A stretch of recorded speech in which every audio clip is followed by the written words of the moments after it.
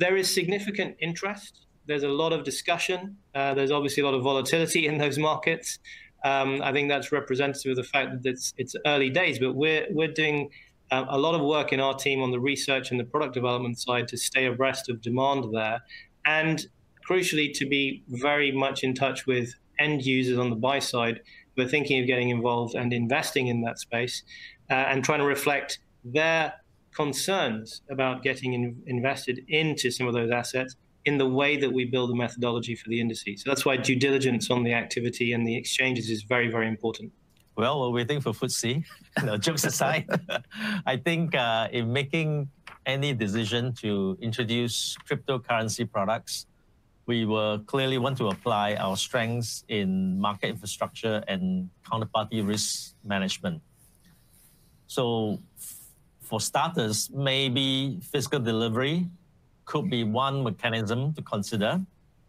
And perhaps uh, whether it's Bitcoin or any of the other coins, it could be a warehousable, titleable commodity in a institutional grade way, similar to how we approach commodity derivatives with the appropriate clearing and uh, risk management uh, framework.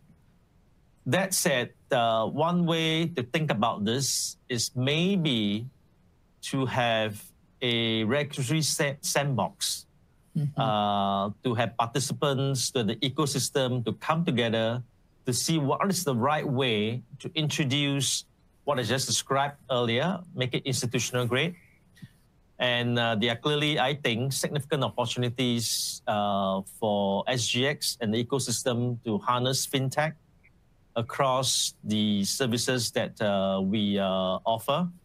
And uh, we ourselves have also invested in uh, digital platform from uh, fixed income issuances, uh, which we are collaborating with Temasek after a very successful collaboration with both Temasek and HSBC in the area of digital bonds. A total of 2 billion Sing has been issued. And also, we're looking to digitize and optimize workflow, and fixed income is just one of the first asset classes that we'll look at, and we'll clearly extend that into uh, other asset classes.